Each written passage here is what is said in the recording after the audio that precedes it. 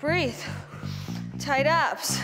So we're really cutting your work time in these kicks. It's good. Okay, time. Touch, touch, touch, touch, touch. Rhythm, rhythm, rhythm, rhythm, rhythm. Good job. Good job. 20 push-ups, Chanel. Drop and go. No, I'm joking. Invite some friends over and do this. Why not? Good job, guys. Hi, guys. I hope you're having a great day. We are. You having a good day? Good day. Yeah, having a good time all around. Just uh, did my workout actually earlier this morning. I, I couldn't get it in, so I did. Um, I pulled out. Um, I pulled out the arms DVD from the body series, and I just just did that. And it was awesome because I didn't have an hour, so I got it done, and my arms feel so much Okay, but this is not about me or anything else. This is about you and your workout quickie of the day. So um, workout quickie, just a quick little tip on the workout quickies. The way that you're going to use them is A, if you're already um, a kettlebell kickboxing, kettlebell kickboxer, and you're going to incorporate some of this stuff into the rest periods in your uh, Scorcher series or Body series DVDs. Um, another way to work this in is to create this into, uh, kind of integrate this into your own workout. So what you do, you'd use this as a bonus round at the end of your workout or the beginning, um, or you can kind of integrate this in as um, maybe you're done with your lunges or you're done with uh, your high intensity interval set, and then your next one would be this motion that we're going to bring to you today. And the last way to do this is to get up off your couch and to come to your living room, find a little spot, and just do the workout with us. You can do it one time, it's a two minute round, or you can actually create a workout out of this um, and make this nine minutes by doing this three times over. So all the different ways you can use the workout quickie. And again, if you're my KB body, kettlebell kickboxing, Scorcher series peeps, then please start to put this in as a bonus round or put this in especially into your rest periods. So we're gonna combine two really cool things. Um, we're gonna start off coming into a plank. From the plank, the ladies are gonna find a downward dog. I'm actually gonna just, Emily's gonna chill for a minute. Uh, Blue's gonna show this to you one time. The first minute, she's going to come into plank position. And then from plank, she's going to find her downward dog. And if you don't know what a downward dog is, all I want you to think about for the purposes of today, here now, is to bring or drive your hips to the ceiling as you pull your shoulder blades together. Make sure that you have even amount of weight distribution between the legs and the arms. Open up your palms and make sure, like I said, you're not holding yourself up with just uh, the lower or upper part of your body. The entire body is working here. Relax your neck. From here, she's going to come to plank position. And Emily's going to do all of the modifieds of this. And from plank position, she's going to, going, going to go to alligator or chaturanga. And then from here, she's going to come right back up. Boom, and then she's gonna go back to plank position. So Blue's gonna play between bending her knees and not bending her knees. If you're new to this, you might wanna come into plank position and bend your knees as you do the push-up up. And Emily's gonna do the entire series modified, and that is your first round. Emily's gonna demo the second round. Second round's fun. So from here, all she's gonna do is go into alligator or chaturanga. So she's gonna bend her knees and come down. And then from here, she's going to push up and then she's going to do these KB swing switches with the legs. One, two, three, four, and right back down. Alligator.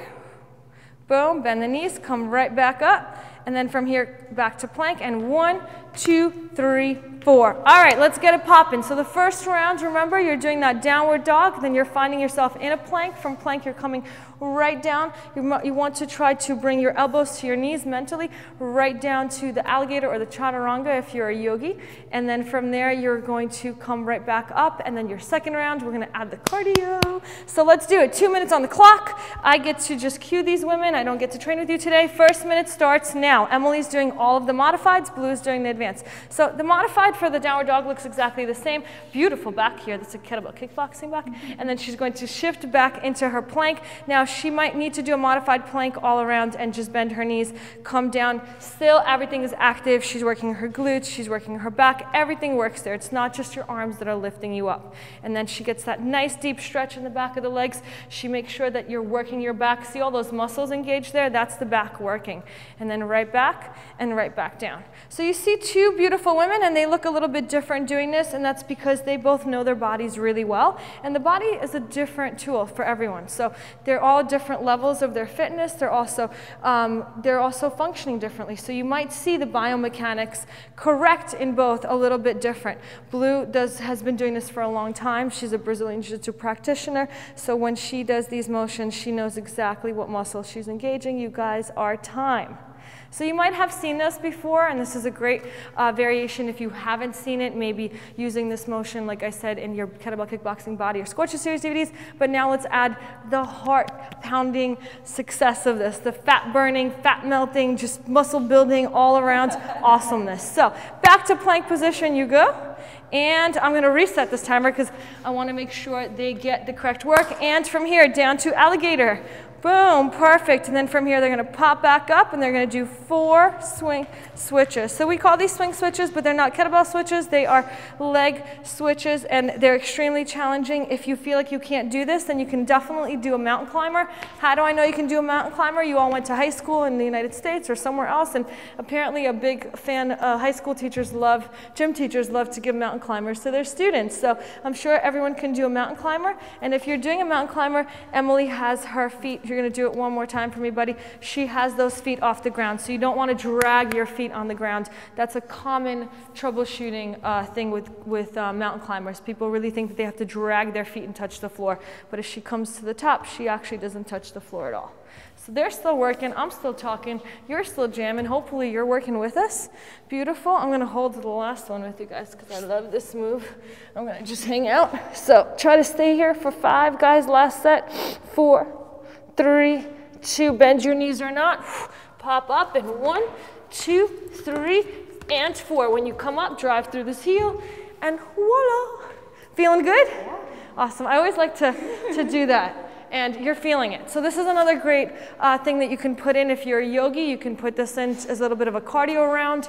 Um, remember, kettlebell kickboxing body series and scorcher series encompasses martial motion. We do have uh, motion from yoga. Uh, we're not teaching you yoga. We incorporate the motions because some of them are too good not to have. Yes. And yes, she's, she's, a, she's a martial artist, a yogi, and a kettlebell kickboxer. She's one of our instructors um, here in the New York City facility, and Emily as well. So definitely, Emily's shirt says I swing. If you want to know where to get that shirt, you can go onto kettlebellkickboxing.com and hopefully we'll have it up there for you. So join us next time if you love it, hate it, not sure, don't know how to do it, haven't done it yet. Just post below here on the YouTube and let us know what you think. If you want to know where Blue gets her tops, just let her know if you want to know where to get this. To just post something. Just say hi, okay? Say right below there. Yeah, just say if you see something, say you need something. to say something. So say something. Hashtag, thank you, KB Body. So